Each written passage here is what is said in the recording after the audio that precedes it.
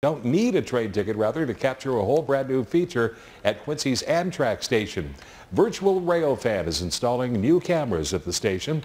Sights from those cameras can be viewed on the company's website, giving folks all over the world a chance to see the gem city from afar.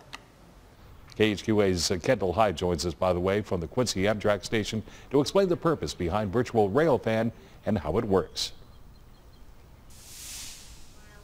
That is right. Virtual Railfan's motto is we bring trains to you while ensuring the safety and security of everyone and boosting citywide tourism across the country. I have Bob Cox here of Virtual Railfans to tell me exactly what is Virtual Railfans and what's y'all's purpose.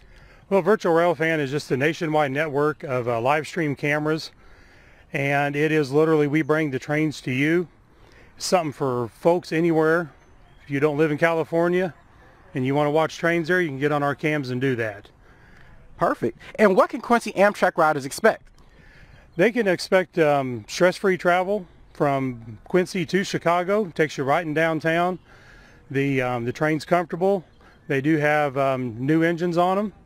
This is a bike-friendly train, and I understood today that Quincy has a bike trail that ends right near the train station. So that's an added benefit for touring the town. Perfect. And how many of these cameras do we have across the U.S.? Because this is the first one in Illinois, correct? This one, yes. Yeah, first one in Illinois. We have we have about 70 nationwide in areas such as La Plata, Missouri, Flagstaff, Arizona, San Juan Capistrano, California, Plant City, Florida, Ashland, Virginia. Perfect. And we can't preach this enough. Exactly how popular is our virtual fan? Virtual Railfan is hugely popular, especially with the live stream and the, uh, the chatting that we do on uh, YouTube.